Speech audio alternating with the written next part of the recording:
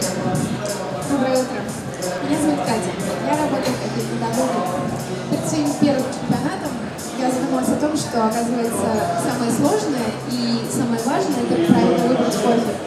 Конечно же, он должен быть очень сбалансированным, очень ароматным, обладать яркой кислотностью, высокой сладостью, но помимо того, что он должен быть вкусным, он должен вдохновлять. И порой то, что нас вдохновляет, находится прямо у нас под рукой. Кофе, который сегодня я вам заварю, а, я каждый день завариваю для своих гостей. Вы можете найти его в любой кофейне Double Я точно знаю, как развивается его вкус и аромат с каждым днем после обжарки. И если гость просит совета и удивить его сортом кофе, я знаю, что именно это то, что нужно. Сегодня вы мои гости, и я с удовольствием заварю для вас. А, мой кофе из Эфиопии. Вот называется дилду. А, он собран фермерами приблизительно сотни небольших хозяйств а, с местности Киречи, зоны Гуджи. Обработан на станции Баканеса. Это очень молодая станция, она открыта в 2015 году. Она частная, и ее владелец, его зовут Израиль Декфор. А, лично контролирует работу на ней еще 16 своих станций. Особенностью его подхода к качеству является а, тщательная трехэтапная сортировка кофе. Сначала ягоды сортируются после сбора. Удаляются недозрелые, перезрелые и испорченные ягоды. А затем зерна в парченте э, сортируются во время сушки третий этап – это сортировка уже зеленого зерна после халинга непосредственно перед отправкой. Важно отметить, что все три этапа производятся строго вручную.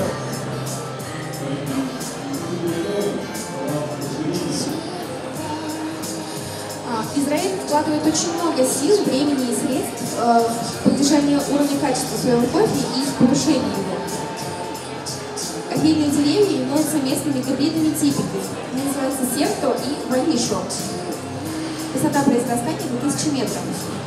На такой большой высоте процесс созревания длится очень медленно, и это позволяет ягодам а, максимально наполниться сладостью.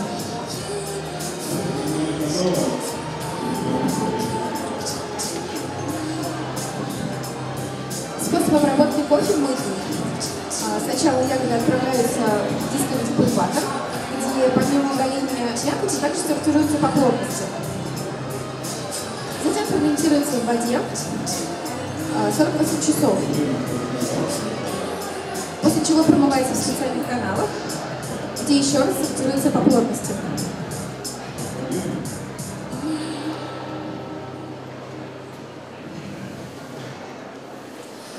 Перед сушкой зерна пашницы э, выдерживаются сутки в свежей чистой воде а сушится кофе на африканской кровати в течение двух недель.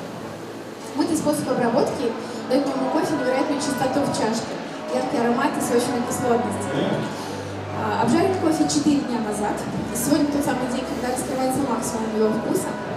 Время обжарки 9 минут. А, время развития после первого крека 16,5% от общего. Как я уже упоминала, мы работаем с кофе уже несколько месяцев, профиль обжарки точно буквально до мелочей. Он подобран именно так, чтобы э, сохранить чистоту напитка, но добавить максимум сладости, а тело оставить легким, но добавить ему гладкости и шелковистости. А, самый важный момент в раскрытии вкуса зерна – это, конечно же, рецепт. Он состоит из трех частей – метод заваривания, вода и фильтр. Методом заваривания я сегодня выбрала инверсионную воронку Вилфа. Моего кофе. А, за счет долгого процесса экстракции кофе становится сладким, а вкусовые дескрипторы яркими. А, я использовала сегодня 20 грамм вина, которое смолола перед выступлением, и 305 грамм воды, а, температура которой 92 градуса. Сначала кофе настаивается в течение 4 минут, затем я открою заслонку, и он пойдет через фильтр и общее время экстракции составит 6,5 минут. А воду я выбрала природную из уникальной области Петри. А, где очень низкая минерализация, всего лишь 35 мг на литр. pH воды 6, это ниже среднего значения. А, такой pH и мягкость воды позволяет э, сделать мой кофе очень гладким, сладким и сочным. А, фильтр отбеленный бумажный. Я считаю, что именно он оставляет мой кофе наиболее чистым, не придает ему никаких посторонних привкусов. И только бумажный фильтр обеспечивает э, наиболее качественной фильтрации частиц кофе. А, в сочетании иммерсия, мягкая вода и бумажный фильтр делают мой невероятно чистым, сочным и очень многогранным. Уважаемые судьи, если вы готовы, я попрошу вас записать вкусовые скрипторы моего кофе. Я хочу отметить, что э, кофе очень прозрачный и последовательный, и все, что вы почувствуете в аромате, отразите и во вкусе. Аромат сладкий, цветочный. Он раскроется нотами жасмина, лимона, лимонника и черного чая.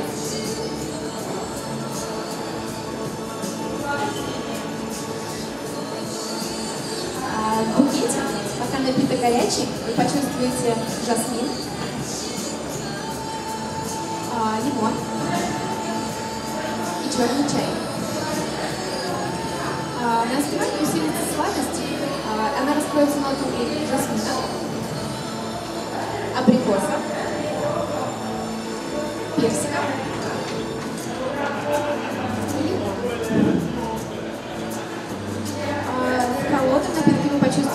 опять-таки лимон, бергамот, черный чай и персик. А, Послевкусие жасминовое, очень долгое и сладкое. А, Кислотность средняя, на остывании становится более сочной. Цитрусовая. А, Тело легкое, очень гладкое, шелковистое. А, На остывании меняется от легкого к среднему. Баланс. Чашка очень хорошо сбалансирована, кислотность преобладает, но очень удачно подчеркивается высокой сладостью и низкой горечью.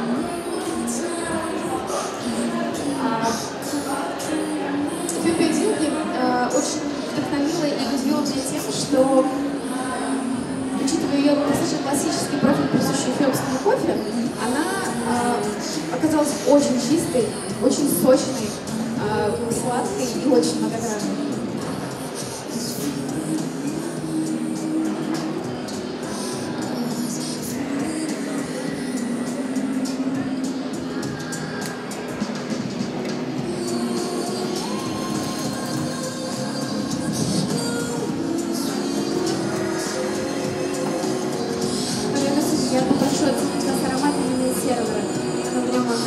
Он наиболее полный и сочный сладкий.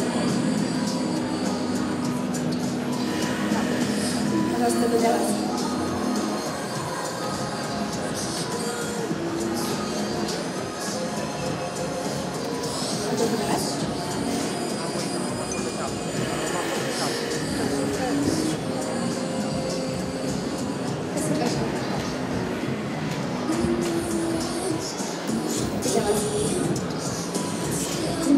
очень приятно заварить для вас тот напиток, который меня вдохновляет каждый день.